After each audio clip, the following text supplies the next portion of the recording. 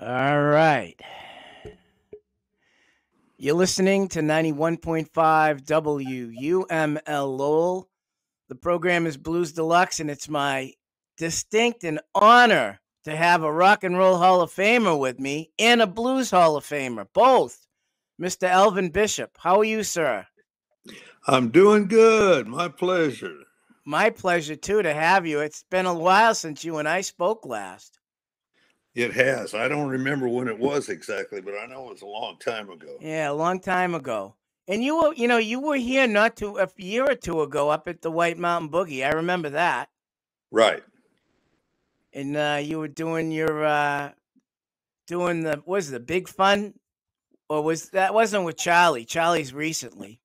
Yeah, big fun trio, my regular yeah. band. Yeah. Yep. All right, let's go back. The way I do these interviews, I go back to the beginning with you guys so our listening audience can get a better understanding of who you are and where you came from. So, where are you originally from, Elvin? Uh, Tulsa, Oklahoma. So, did you grow up there or you moved? Uh, I was born in Glendale, California, because my dad was in the Army in World War II. This is 1942. Wow. Not 1842, 1942. and then uh, shortly after, moved back to his homeland, which is Iowa. And I stayed there till I was about 10. And then we moved to Oklahoma. And uh, so when did you stop playing guitar and singing and doing all the things that you do? I started a little tiny bit in uh, Tulsa, but I wasn't uh, it wasn't very far advanced. I moved to Chicago when I graduated from high school because I had fallen in love with blues over the radio. And uh, I didn't know much, but I knew that Chicago was where the blues was happening. So, and that was AM radio back then, right? Yeah. AM radio was playing all of that all over the. You could get it anywhere in the country.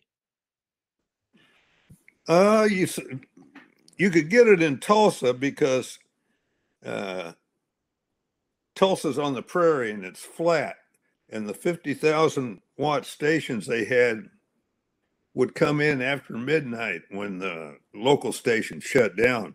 So I'd listen to WLAC in Nashville and uh, XERB in in uh, Mexico, like that. What were you listening to growing up? What what types of music were you listening to? I started off just uh, like like all the teenagers did in the fifties, uh, getting into rock. Uh, rock was not. I liked Elvis and and um, Chuck Berry and Fats Domino and like that, you know. And then uh, I eventually found out where all the good parts of the rock was coming from, and it was blues. So I went for that. And who was the first person you heard in blues on the radio? Can you remember that? Uh, I remember the first one that really knocked me out. And uh, it was, see, I had this big radio that was, in those days, it was a combination of radio and a record player. It was more like a piece of furniture than what you think of as a radio, you know? Yeah. And uh, after midnight, you know, I was supposed to be sleeping. I was in junior high school or something. And uh, I'd be listening to that radio kind of softly, you know, and those orange tubes would be glowing. And it was real cool. And they played Jimmy Reed, Honest I Do. And that sharp squealing harp came through the static and everything. I said, oh, man that's it. That's it. That's the stuff. That's what I want. That's what you want. Yeah. So eventually you went to college in Chicago mm-hmm. and you from what I I you know the, the documentary on Butterfield I saw but I saw much of what you spoke about there so I'm going to bring some of that up you went to Chicago, and Paul was in in in college with you at the same time, correct? No, no. He just lived in he lived in the neighborhood. Ah. So you got to see him. He was in the neighborhood and he was playing guitar at first, correct? There you go. You did your homework. See that? Yeah.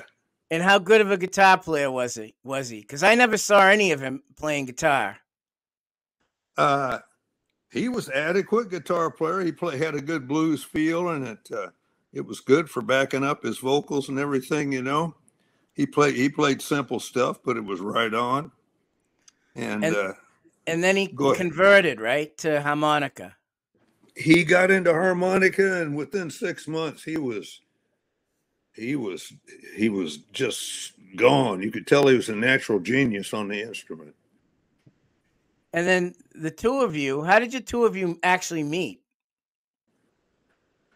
Uh, I was walking around the neighborhood my first day in town to check it, check out, you know, the big city, Chicago, you know, and I was a little bit of a of a, kind of a, hick from from Tulsa, you know, square as a pool table and twice as green, and I saw this guy sitting there drinking a quart of beer and playing blues on the guitar, and I just kind of gravitated over there, and we got to be friends right quick, you know.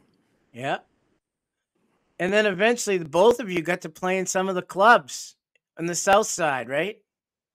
Yeah, we we started out just playing acoustic at parties and everything. It was uh, this was 1960. It was way before civil rights, and um, integration wasn't even really happening to any large degree, even in big towns like northern towns like Chicago.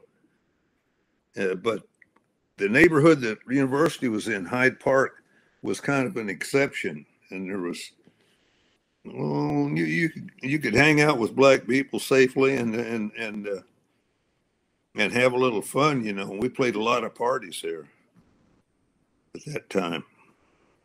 And then you get to see some of the big names that were in those playing in those clubs. First first week I was in Chicago, I was down at Pepper's Lounge checking out Muddy Waters. Amazing. So what was that like to be in in in the midst of Muddy and his band and in, in a in a club in south, the south side of Chicago as a kid? Well, Muddy had the greatest band in the world. The- first time I saw him, that was James Cotton, Otis Spann, Willie Big Eye Smith, um, Pat Hare, and a bass player.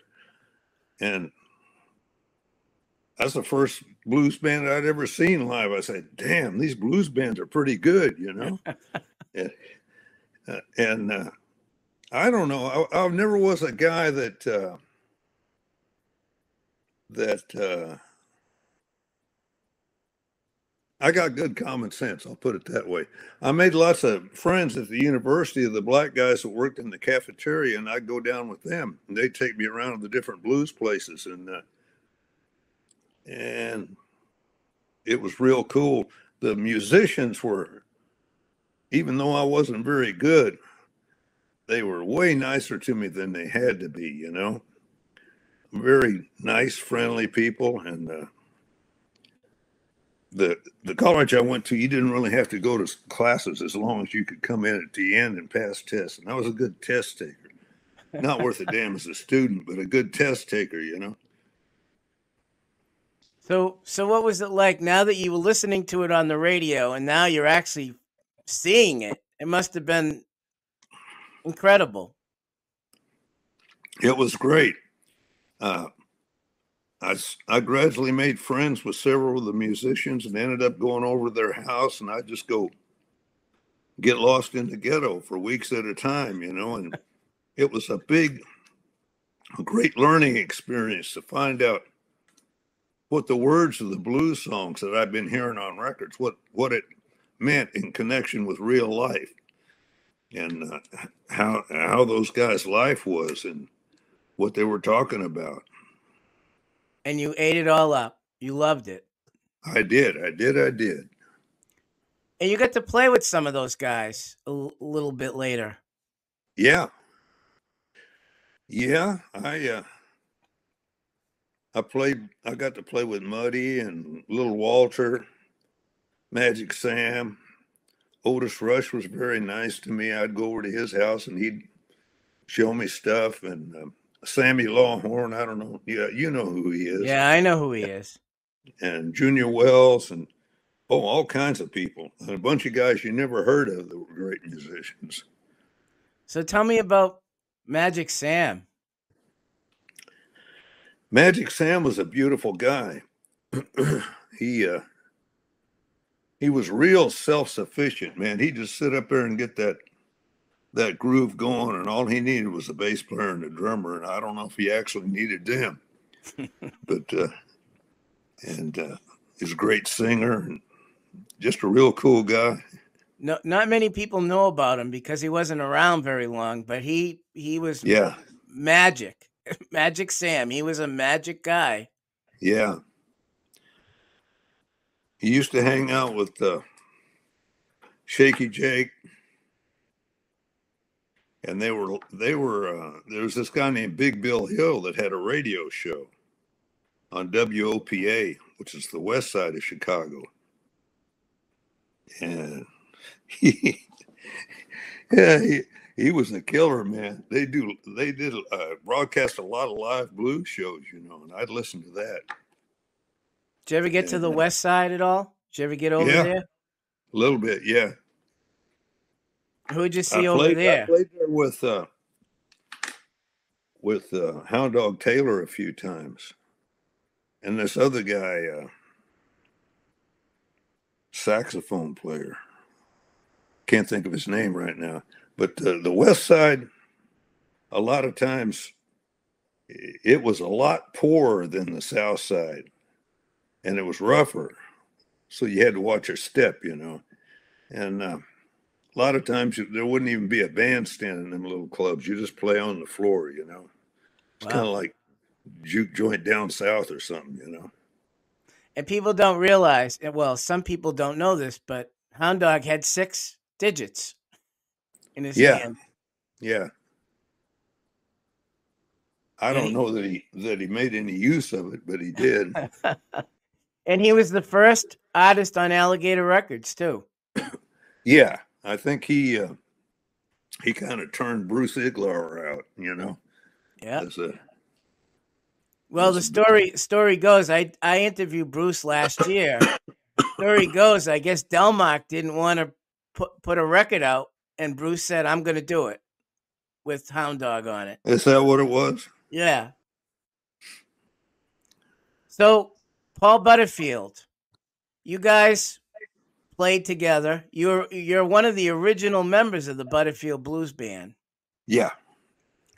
When you guys got together, you um you stole Wolf's bass player and drummer. Or, or not you, but Paul did.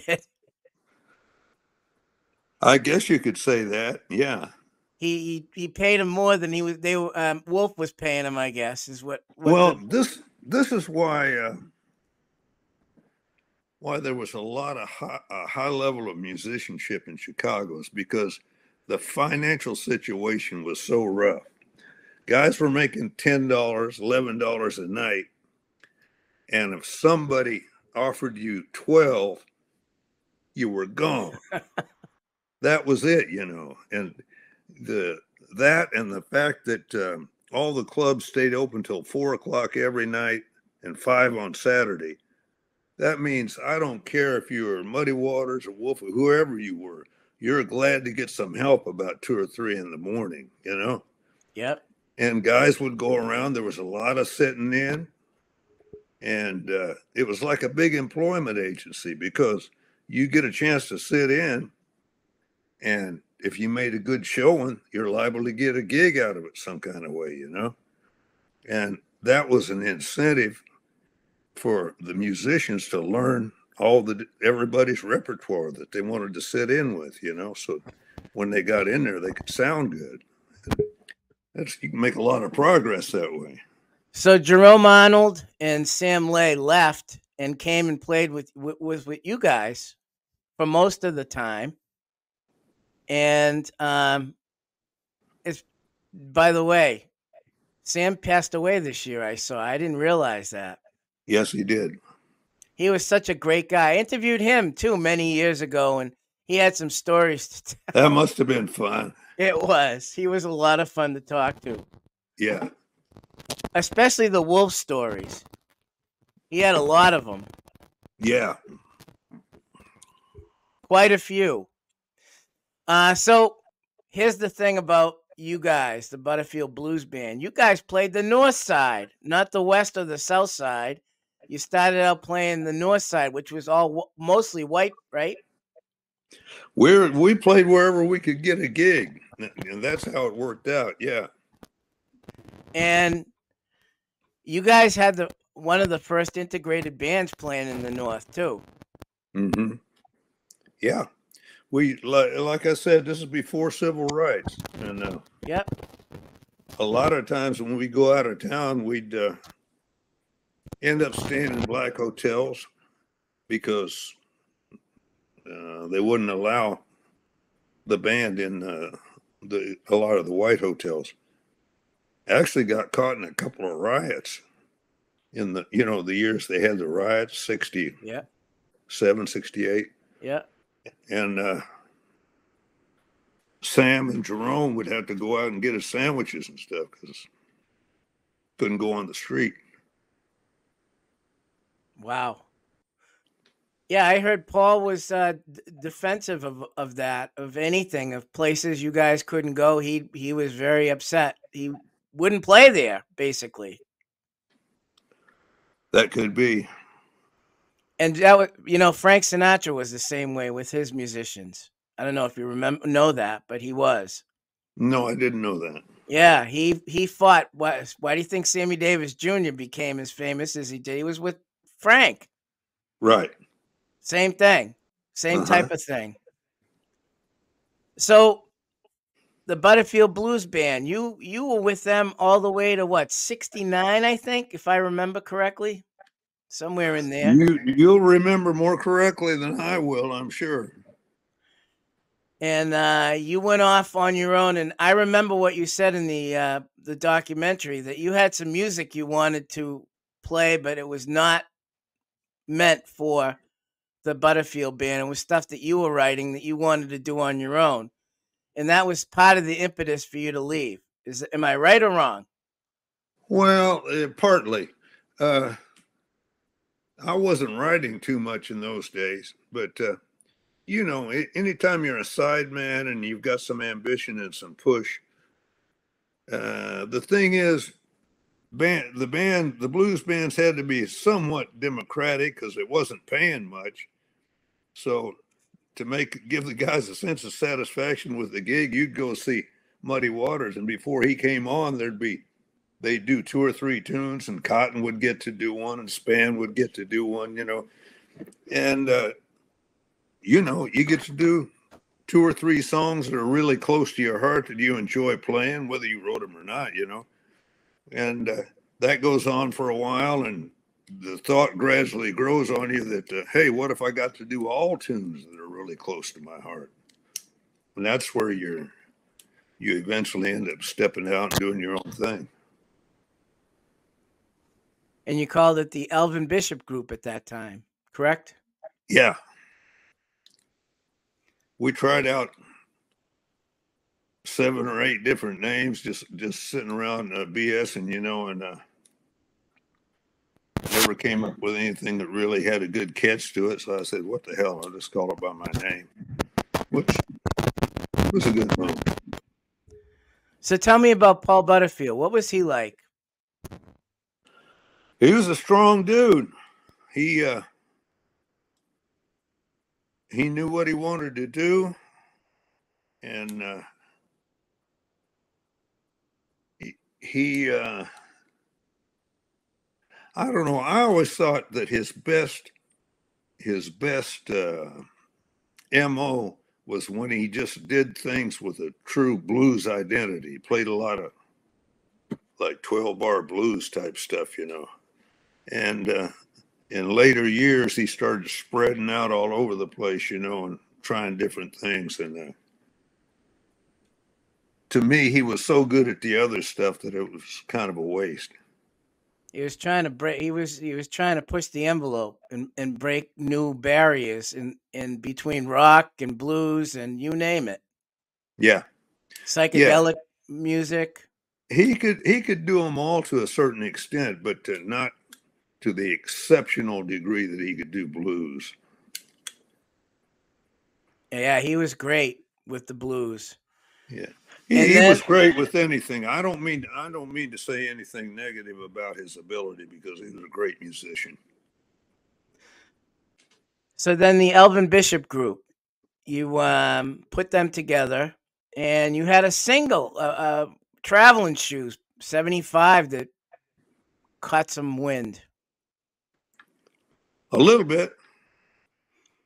But then right after that, a big you got a big hit, number three hit, fooled around and fell in love. Mm-hmm. What was that like to get that to do to hear that you you were making way now all of a sudden? Uh it was a big surprise, but uh, it was a good one. And that's Mickey Thomas, right, singing on that? Yeah, I try. I wrote the tune several years before that, and I tried to get two or three other people who were good singers to do it, and, and nobody liked it much. So it it happened really by accident. We were doing an album. We were in Florida, in Miami, doing the album, and uh, we had almost enough for the whole album. I said, "We need one more thing. You got anything laying around?" So um, we went and cut a track for "Fooled Around," and it sounded pretty good. And I sang on it. I said, This ain't butter in the biscuit, you know. Mick, but how would you feel about trying this? He says, All right. And he killed it. You're not kidding. He killed it. and went to yeah. number three. And uh, that song has been still on the radio. You must be getting royalties from that still, I bet. Yeah, is that a good thing today in these these times? Well, it's better to have a hit than not to have one. That's for sure. In many respects. Yeah, you know, as a songwriter, I've always been maybe not quite not quite the stereotypical type of songwriter that's going to appeal to mega millions of people. I'm more my heroes have always been guys like uh, like Jimmy McCracklin and uh, Percy Mayfield, you know, something with yep. a little individual quirk to it, you know. But you, you you write hundreds of them, throw them up against the wall, see what sticks. Sticks. I also looked at your bio and it says you've recorded with some blues artists over the years early in the 70s when you just before you you had that hit you you recorded with John Lee and many others. You were on a Bo Diddley record. Clifton Chenier. Clifton Chenier yeah I forgot about yeah. him. Yeah. And BB King you toured with BB King for a little bit. Yes. What was that like with BB BB was a wonderful guy. He's really, really a nice person, very generous, a very, uh, you know, for, yeah. for a guy who was so great, he was he was very humble. I remember the first time uh, I played with him at the Fillmore in San Francisco. He invited me to come over to his hotel, and I went. He answers the door. He's in his dressing gown. He's got sheet music spread all over his bed. And he's sitting down there working like a dog on scales and stuff. And I said, this might be some kind of a lesson to me, you know, to a young rock guy that thinks maybe a little too much of himself, you know. And uh, here's the greatest blues musician in the world, and he's just in the habit of constantly trying to improve himself. I said, that's that's something to that's something to pay attention to. You got a great photo behind you right there, BB. Yeah. That's him. That's him. So you signed with many labels over the years. Fillmore was the original, then Epic and Capricorn, and then Alligator. 1988, it says you signed with Alligator. And yep. you put out a bunch of records back then. And the one that I remember was the Little Smokey Smothers record that you did. Yeah. Smokey was my guy. He he um, he and I met early on in Chicago and just became real good friends. And I spent a lot of time at his house, and he he really helped me get started. When you were here in the '60s, right? That was during the when you were here as a kid yeah. in the '60s. Yeah, yeah. And then later on, you put a record out with them together. Yeah, that was fun. We actually put out two or three. Uh, towards the end, he he got uh, diabetes, and they cut off one of his legs. You know, and Ooh. he was having trouble with uh, his medical bills and all that. So we we put together an album real quick to help him with that, and it it did help him. So I felt good about that. So tell me about the period um, when you had the hit. What were you doing right after that? Trying to are you were you trying to put another record out that would have a hit, or what? What were you doing? What were you thinking at the time? Just going around doing gigs and uh, uh,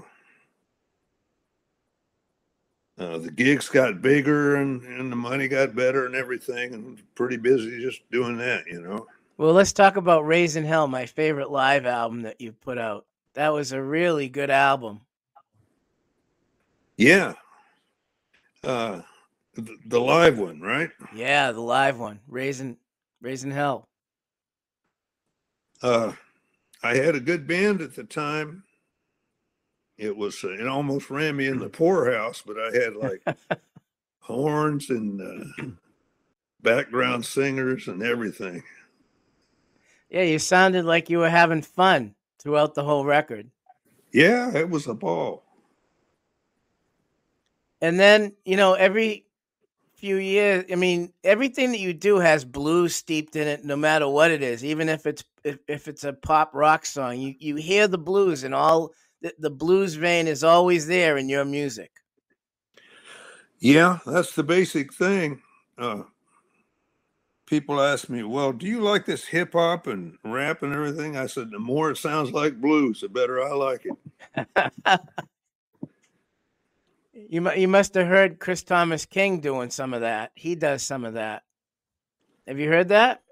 No. Yeah, it's pretty good. Some of the stuff he's done in the past when he was a kid, he had rap and hip hop mixed with funk and blues together. Uh huh and it's it's pretty good. It was interesting to hear that. Listen to that. Well, he took a, he took a lot of abuse for it, Bo, though I can tell you. Yeah, I guess so. It you know something to me, black music is pretty much the same underneath. It's just like trends in clothing or or or dance crazes or something like that that's the surface aspects of it change, but what's what's really happening underneath, there's a steady current there. Oh yeah. And 99, 98, you won the Oklahoma Jazz Hall of Fame. Mm-hmm.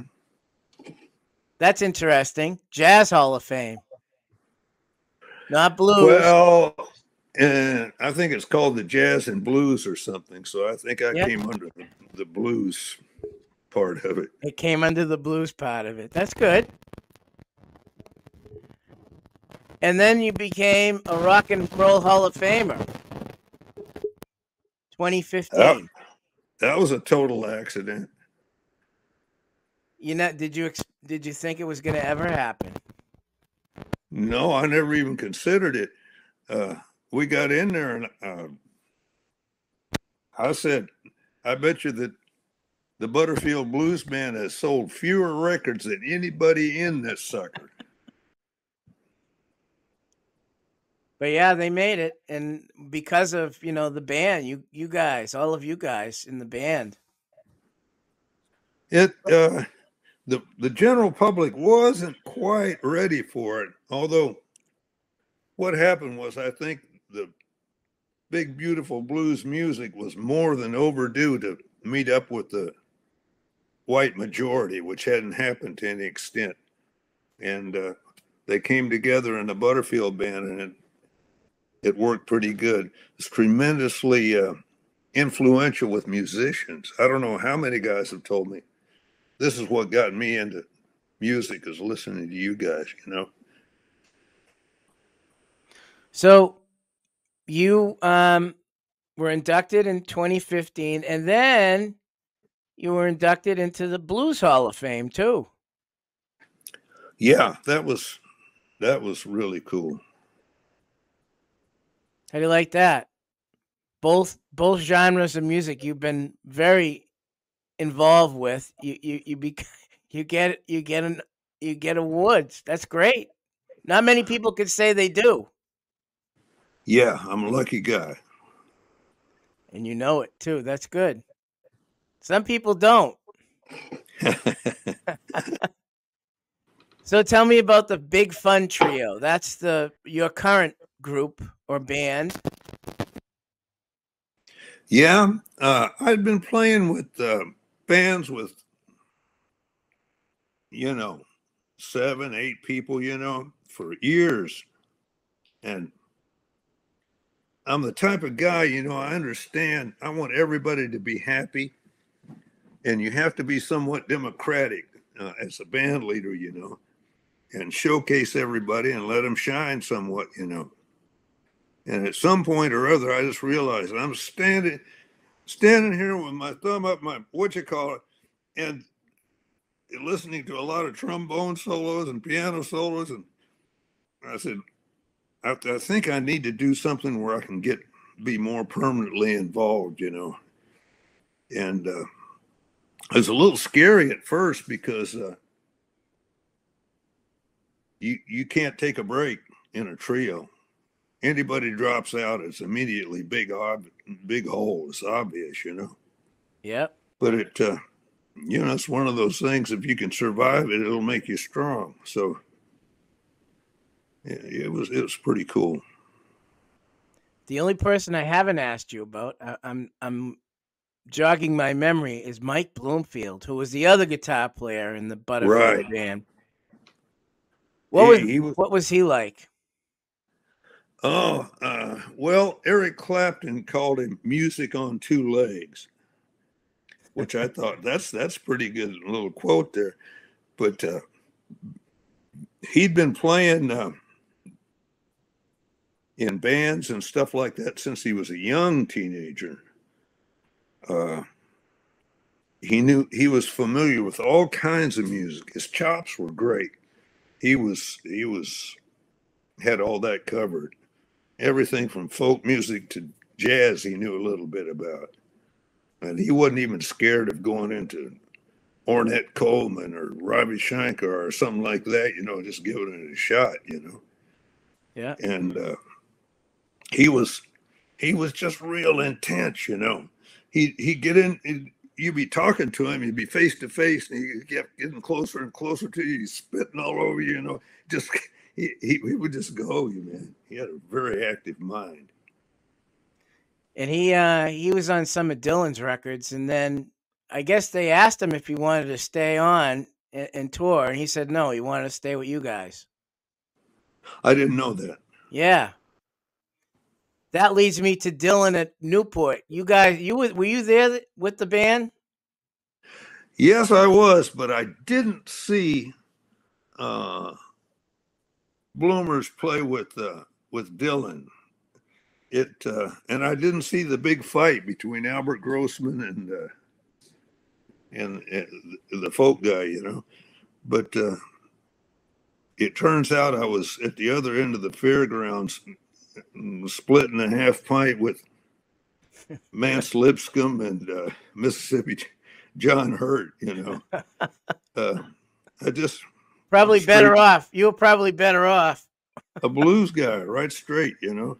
Yeah. But uh, I, I, I was in the studio when he was cutting uh, when him and Sam Lay were playing on uh, uh, Maggie's Farm or whatever it was, you know, yep. that album. Yep. It was an interesting experiment. I mean, experience. Yeah. it, uh, it, it worked out. I mean, it's amazing. Dylan put all that together in his head, you know. He said, okay, it's time for rock and this stuff to meet, you know. Yeah. And, and he uh, picked uh, some of the best guys. I mean, blues yeah. influenced guys. Yeah. And uh, boy, did it piss off the folk people, though. Yeah, the I know. Folk people. It's still pissing them off today when you think about it. So, your latest record, you did it with another gentleman that you knew way back in the day in the 60s, Mr. Charlie Musselwhite. Yeah, Muscle. Uh, we didn't know each other that well in Chicago. Our paths crossed somewhat. The, the main thing we had in common was Big Joe Williams. He uh, he hung out with Big Joe quite a bit, and I did too, sort of in it, it was amazing how big the Chicago blues scene was. You could like Muscle and I were there for quite a few years at the same time, and hardly ever our paths crossed because he had there. I bet you there were 200 blues clubs in Chicago at one time. It was, it was like the that may be an exaggeration, but not much. Um, it was the living music of the black people in those days, it's like rap is now or hip hop. I mean, it was it dominated, and uh, everybody to get their own circuit of clubs, you know. And Muscle went to his clubs. He said, "You ever been to so and so club?" No. He used to hang out there, you know. Yeah. So, what made you decide to put a record out with him now? Last year, you st- it came out in September, October of last year. What made you guys decide you wanted to do this? Uh, on my, on my uh, one of my trio records before that, I wrote this tune for me and Charlie called "A Hundred Years of Blues," and I went in the studio. We went in the studio, and it just was like falling off a log. You know, we just, you know, we're coming from the same place. We knew exactly what to do, and it was meant to got, be, right? Got got to talking, yeah, and said, "Man, we ought to, we ought to do it, an album," and we did. The other thing I saw, I didn't realize, is your the song "Fool Around and Fell in Love" was in a movie. It's Just been in about twenty-five movies. Right, Car- Guardians of the Galaxy, Volume One, you yeah. were in that. It was in that, and and many others too. That's right, from what I remember. Yeah. So you get you get royalties for that too. That's good. Yeah. Do you get involved in any of that stuff when they when they request it to use the songs? Uh, I got a lawyer, you know, that kind of does that stuff. So you don't have to worry about that. Uh, Try not to, yeah. He takes care of it for you. Well, I get to make the decisions, you know, but uh, yeah, they got to do so, the legal stuff. I was looking at your touring schedule, and very interestingly, you're going to be with Buddy Guy soon in the next few weeks, week or so. Yeah. Are you going to be? be you going to be together or or you separate? Doing something? separate as far as I know. Although I wouldn't be surprised if we ended up jamming a little bit.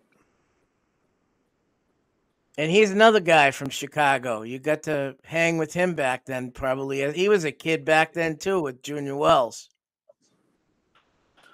He, uh, I think the first time I ever saw him was maybe 1961.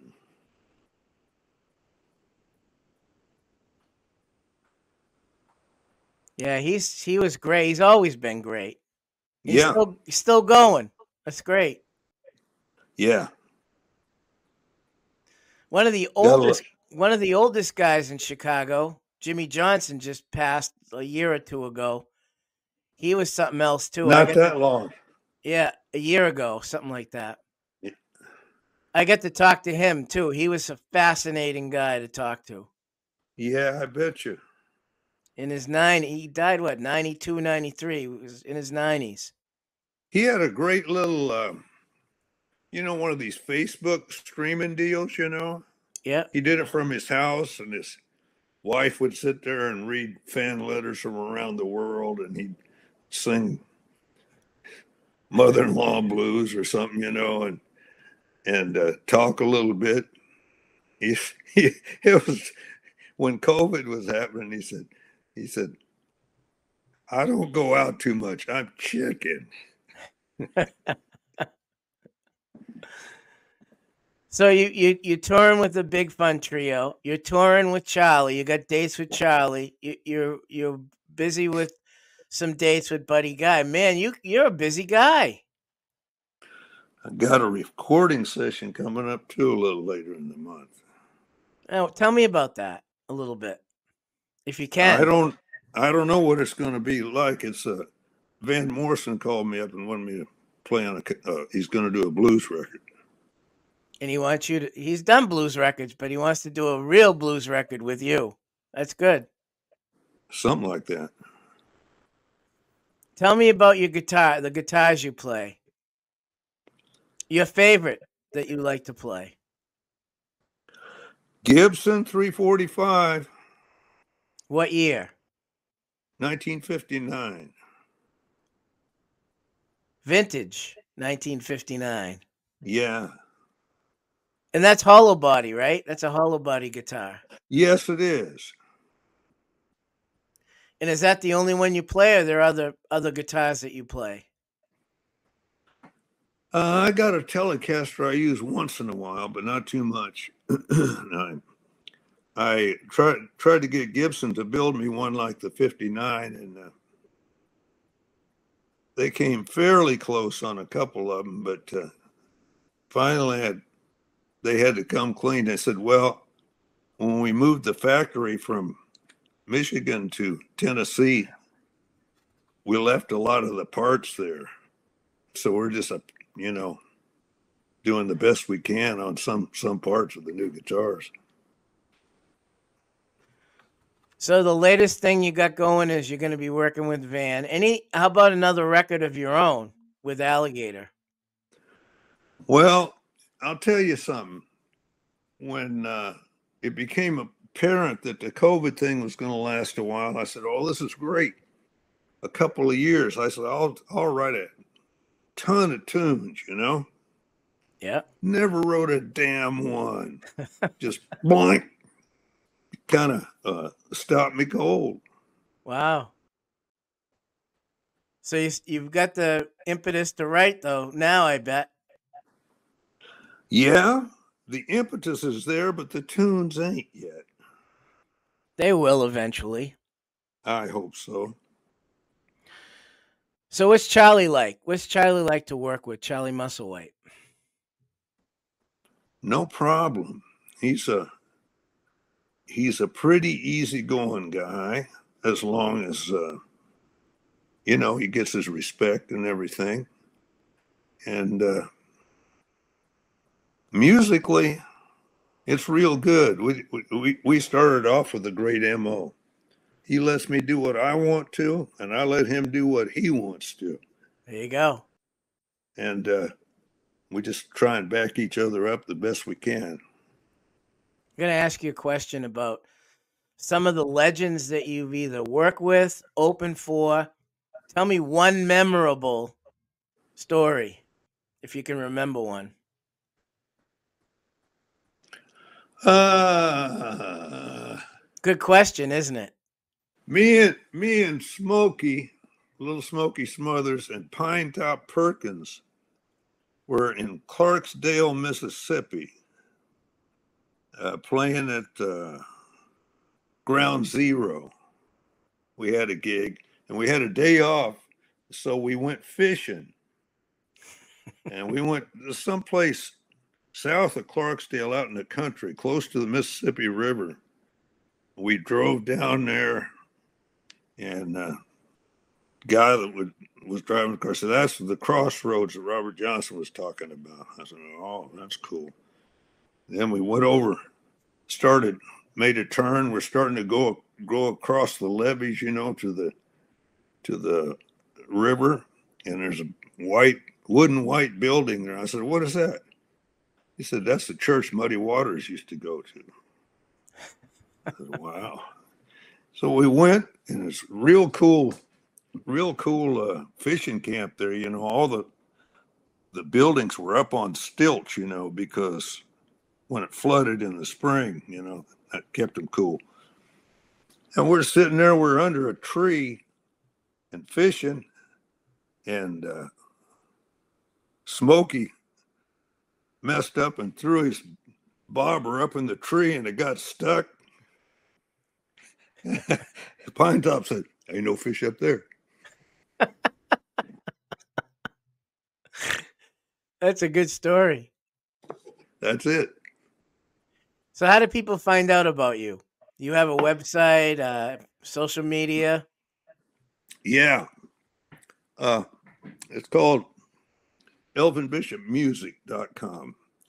I used to just have elvinbishop.com, but while I wasn't paying attention, you know, some uh, scammers bought bought that uh, bought that title up. Yeah. And tried to extort me for 25 grand. Wow. And I said, Oh, the hell with you. Because so it pissed them off.